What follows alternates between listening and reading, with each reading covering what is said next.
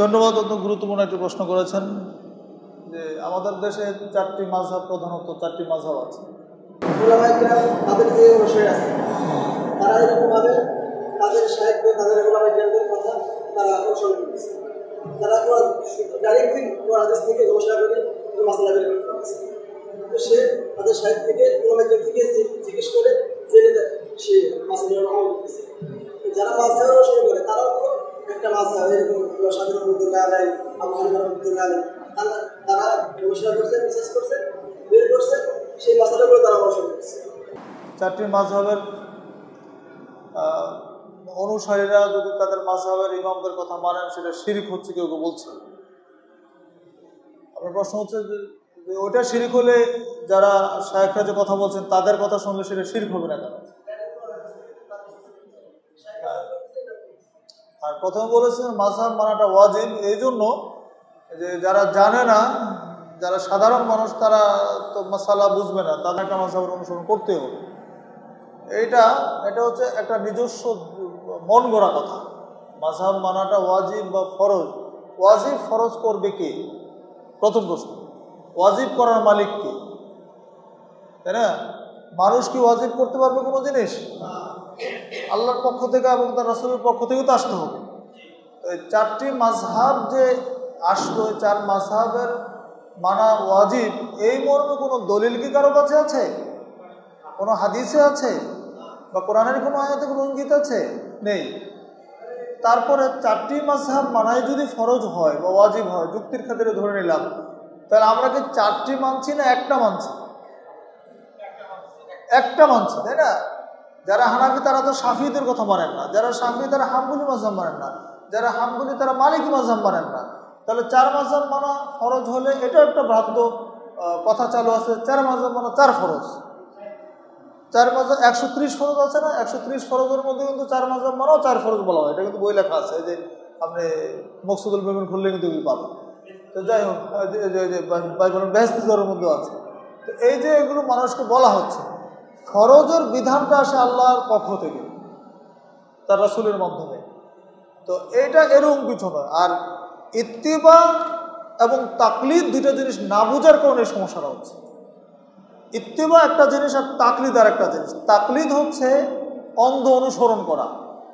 ইত্তেবা হচ্ছে দলিলের অনুসরণ করা। আর ইত্তেবা হওয়া আল ইত্তেবা হুয়া কাবুল কাউলিল গাইরি মাহাদ দলিল ও তাকলিদ হুয়া কাবুল কাউলিল গাইরি গাইরি দলিল। ইত্তেবা হচ্ছে কারও কোনো কথা দলিল সহ অনুসরণ করা। আর তাকলিদ হচ্ছে কারও কথা দলিল বিহীন অনুসরণ করা। নিশ্চয়ই সাধারণ মানুষকে একজন আলেমের অনুসরণ করতে হবে।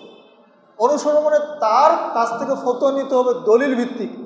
আমি খুদ্া বলি নাই, আল্লাহ বলেন না যে ফাস আলু আহলা দিক্রিন কুমতুমুল্লাহ তালামুন বিল বাইনাতে জুবুর তোমরা জেনে নাও, তাদের কাছ থেকে, আলেমদের কাছ থেকে আহলে জিকির মানে কি? যারা জানে, যারা কোরআন হাদিস বুঝে, অর্থাৎ আলেম যারা, বেনি মানুষ যারা, তাদেরকে তোমরা জিজ্ঞেস করো।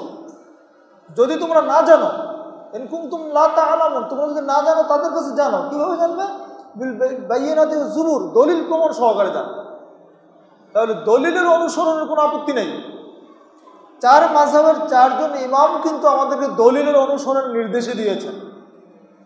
যেমন যেমন ইমাম আবু হানিফা রহমতুল্লাহের কলটা আমরা খুবই বলেছি, ইদা সহার হাদিস মাঝহাবি যেটা সহি হাদিস হবে সেটা আমার মাঝহাব তোমরা সহি হাদিসটা মানো। ইমাম শাহি রহমতুল্লাহ বলছেন, ইদা রাইতুম কালামি খালিফুল হাদিস, ফামালু বিল হাদিস।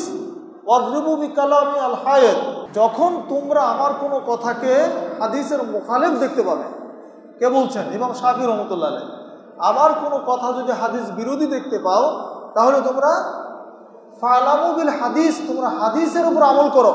আর আমার কথাটাকে দেয়ালে ছুড়ে দাও। ওয়াজরিবুবি কালামি আল হায়াত, আমার কথাটাকে দেয়ালে নিক্ষেপ করো, ওর কথার আমার দাম নেই। এবং আহমদ হাম্বল রহমুল্লাহ বলছেন যে ওলা তুকাল্লিদনি ওলা তুকাল্লিদান্না মালিকান ওয়াল আউজাইয়া ওয়ালা নাখাইয়া বাল খুদু বিন হাইসু আকাদু বিন কিতাবি ও যে তোমরা আমার অন্ধ অনুসরণ করবে না, তাকলিদ করবে না। ওলা লা তুকাল্লিদনি, আমার তাকলিদ করবে না। এবং নাখি ইমাম আউজাই এই জাতীয় তৎকালীন যেমন বড় বড় ইমামদের নাম উল্লেখ করে বলছেন তাদেরও অন্ধ তাকলিদ করবে না। বরং কি করবে তোমরা?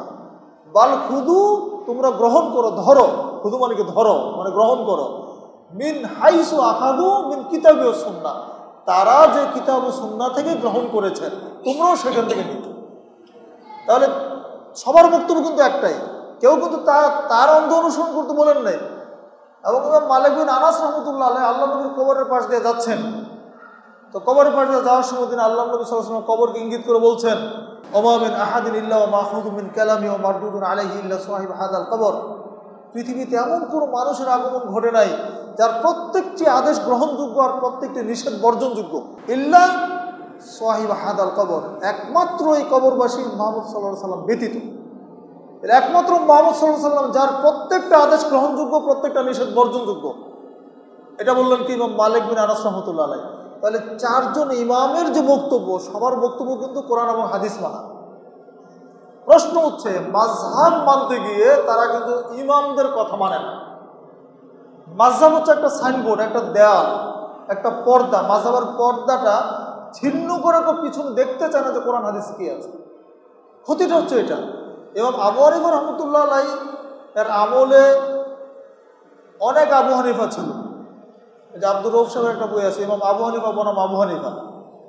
এবং ইমাম আবু আবু- আবু হানিফা বনাম হানাফি মাজহাব অর্থাৎ ইমাম আবু হানিফার, অর্থাৎ নোমান সাবেদ ইমাম আবু হানিফা যিনি, তিনি ছাড়াও তৎকালীন আমার বহু আবু হানিফা ছিল। তারপরে কে কোন মশালা দিয়েছে, সেটা নিয়ে বিভ্রান্তি, কে কারণ অনুসরণ করেছে।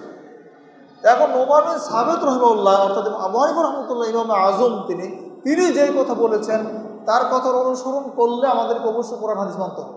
তার অনুসারীদের সেদিকে যাওয়া উচিত। হ্যাঁ কোনো ইমামের ইমামের দলিলের অনুসরণ করলে শিরিক হবে কথা ঠিক না। এটাকে বললে ভুল বলেছে। কোনো আলেমের দলিলের অনুসরণ করলে, আলেমরাই তো কথা বলবে, কে বলবে? তাই না সাধারণ মানুষ বলবে। আলেমরা কথা বলবে, দিনের দাওয়াত দেবে, কোরআন, হাদিস বলবে, সাধারণ মানুষ অনুসরণ করবে। তার মানে আলেমের অন্ধ অনুসরণ নয় কিন্তু আলেমের কথা অনুযায়ী কোরআন, হাদিসের অনুসরণ। এইটা বুঝতে ভুল হচ্ছে। যদি মাঝহাবের ইমামদের কোরআন, হাদিস ভিত্তিক ফতুয়া কেউ মেনে নেয়, এটা কখনো শির্ক হবে না। আমরা বলতে চাই চারটি মাঝহাবের মধ্যেও কিন্তু সহি আমল আছে। চারটি মাঝহাবের মধ্যে কিন্তু জয়ীফ জাল আমল আছে। এখন আপনাকে চারটি মাঝহাব থেকে যে আমলগুলি সহি হাদিস সম্মত আছে, সে আমলগুলি এক জায়গায় করেন, সেইটা করেন। একটা মাঝহাব মানার দরকার না চারটা মাঝহাব মানেন। চারটা মাঝহাবের সহিগুলি মেনে নেন, কোনো সমস্যা নেই। অন্ধভাবে যদি একটা মাঝহাবে মানে যে আমার ইমাম যেটা বলছে সেটাই ঠিক, ও দুনিয়ার সব একদিকে চলে গেলে কেয়ামত হয়ে গেলে আমি মানি না। যে কবরে গেলাম ওইটাই করব। এমন কিছু কিছু মানুষ গোড়া আছে, একটা আমল করতেছে হাদিস হাদিস মতো না সই হাদিস সম্মতো না। এতই জিদ বলছে কবরে গিয়েও আমি ওইটাই করব। তো কবরে গেলে আমল করতে পারবে? মানে তার জিদের উপরে বলতেছে আর তো এই জন্য বলছি যে ইমামদের অন্ধ অনুসরণ নয়, তাদের দলিলের অনুসরণ করতে হবে। কোরআন এবং হাদিস ভিত্তিক যে কোনো মাঝহাবের, যে কোনো তরিকের যে কোনো কথা যদি কোরআন হাদিসের সাথে মিলে যায়, আমরা তাকে স্বাগত জানাব। আর আমাদেরও যদি কোনো আমল কোরআন হাদিসের বাইরে থাকে, এটাও ছাড়তে আমরা বাধ্য থাকব। এটাই হচ্ছে মুসলমানদের ইমান এটা হচ্ছে আমাদের নিরপেক্ষ মানসিকতা। এই নিরপেক্ষতা যদি মাথার মধ্যে ঢুকাতে পারেন, আপনি হক খুঁজে পাবেন। রঙিন চশমা দিলে পৃথিবী কী দেখা যায়? রঙিন দেখা যায় না। আপনি জন্ডিসের রোগে পৃথিবী হলুদ দেখবেন না। আপনার আপনার চোখে হচ্ছে মানে মাঝহাবের চশমা। আপনি চশমা খুলেন না তো, তা আপনার চোখ দিয়ে সবসময় মাঝহাবে দেখতেছেন। চশমাটা খুলতে হবে। পর্দা উঠিয়ে নেন। এবার অন্তরটাকে নিরপেক্ষ করেন। মনে করেন যে আমি কোরআন হাদিস মানব। কোরআন হাদিসের যেগুলি মাঝহাবের সাথে মিলবে, আমি ওকে ফাইনাল কোনো সমস্যা নেই। যেটা আমার মাঝহাবের আমল যদি কোরআন হাদিসের সাথে না মিলে, তাহলে আমি মানব না। আগে কোরআন হাদিস না, আগে মাঝহাব। আগে কোরআন হাদিস। আগে কোরআন হাদিস, তারপরে মাঝহাব। কোরআন হাদিসের সাথে মাঝহাবকে মিলাবো, মাঝহাবের সাথে কোরআন হাদিস মিলাবো। ঠিক আছে? কোরআন হাদিসের কাছে মাঝহাবকে নিয়ে আসব আমরা, কিন্তু কোরআন হাদিসকে মাঝহাবের কাছে নিয়ে যাব। কোরআন হাদিসের সাথে যদি মাঝহাব মিলে মাঝহাব ঠিক, আমল ঠিক, আর কোরআন হাদিসের সাথে না মিললে ওটা বাতিল। এটা যত বড় মাঝহাব হোক, যত বড় দলে হোক, যত বড় আহলে হাদিসই হন, যত বড় সালাফি হন, ওই সাইনবোর্ডের কোনো দাম আমাদের কাছে নেই। কোরআন হাদিসে নাই, তো আপনি নিজেকে যত বড় সালাফি দাবি করেন, আহলে হাদিস দাবি করেন আপনার কোনো দাম আমাদের কাছে নাই।